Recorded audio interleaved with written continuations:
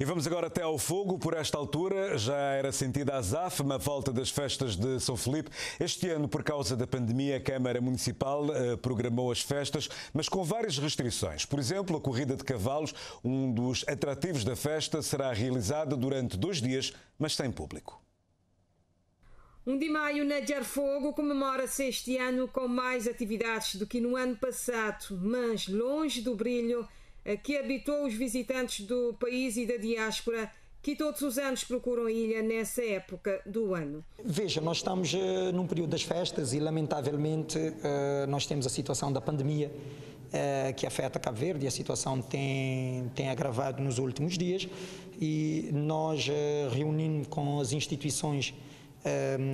à volta deste processo, normalmente a Casa das Bandeiras, uh, a Igreja e as autoridades sanitárias, e a Câmara Municipal uh, decidiu de que este ano as comemorações seriam comemorações mínimas, uh, não,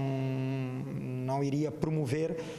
nenhuma atividade com concorrência do público em termos de aglomeração para evitar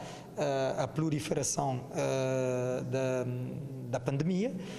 A grande corrida de cavalos, uma das atividades que mais atrai o número de pessoas, será realizada durante dois dias, mas sem público. Haverá corrida de cavalo, mas sem público, com transmissão online uh, para todos, porque, uh, veja, o decreto-lei, uh, a resolução, aliás, do Conselho de Ministros que abre as atividades desportivas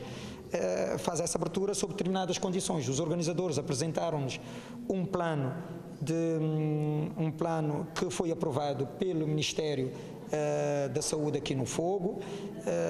e comprometeram-te com termos de responsabilidade a cumprir este, este plano e a Câmara, uh, enquanto entidade pública que zela pelos interesses do município,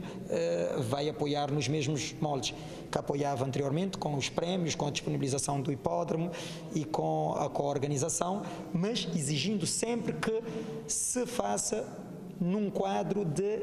respeito absoluto às normas sanitárias vigentes no país. Este ano vai haver a tradicional missa, atletismo, corrida bote, sempre evitando as aglomerações para evitar a propagação do vírus. E assim também serão as atividades de atletismo e as atividades de de, de, corrida de bote e pequenas outras atividades que faremos, mas sempre sem público, para permitir, pelo menos, assinalar e também ajudar uh, esses atletas, essas pessoas da área dos eventos. Entretanto, o Presidente da Câmara Municipal promete festa rija para o próximo ano em comemoração dos 100 anos da elevação de São Felipe à cidade.